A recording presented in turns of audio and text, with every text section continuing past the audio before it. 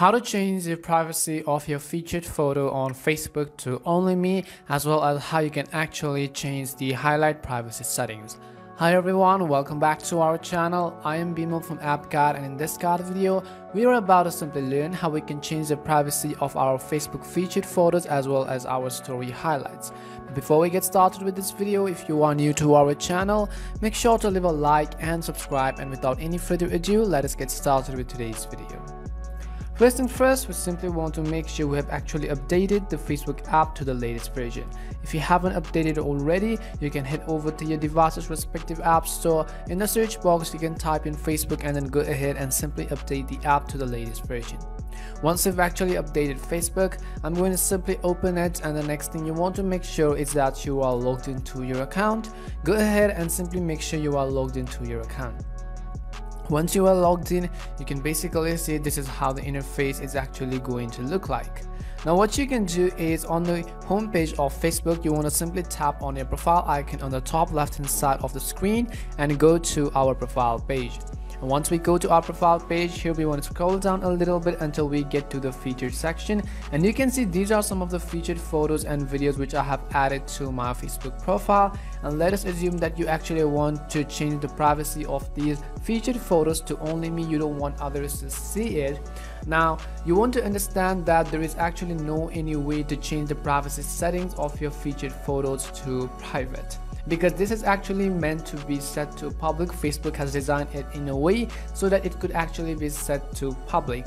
However there are a few things you can actually work around it and that is what i'm going to show you. The first thing you can definitely try is that if you don't want others to see your featured photos right over here let's say some of the thumbnails generic images. And if you don't want others to see this then what you can do is you can simply tap on it and you can tap on the three dots on the top right hand side of the screen and then tap on edit feature featured collection.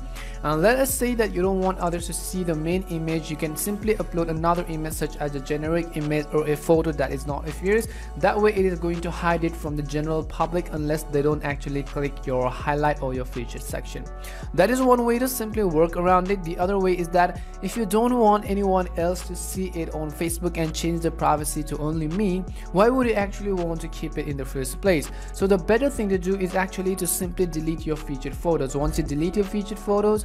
No one else would actually be able to see your featured photo on facebook. That is a second way to actually work around it. Let's say that you also want to change your story settings on facebook or your story highlight privacy settings. Now for that we're actually going to come back and on the top right you'll be able to see this three lines icon right over here once you tap on the three lines icon, now if you're on iOS, those three lines icon could be at the bottom of the screen. You want to be simply aware of that and you'll scroll down a little bit until you get to the settings and privacy option.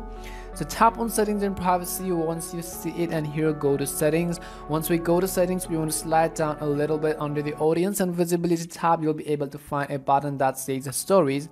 Tap on stories and right here you'll actually be able to change the privacy right on top. You can see it says story privacy. Tap on it once and here you can simply change it to friends or then you can also change it to custom people right over here depending on whom you want to share your story with.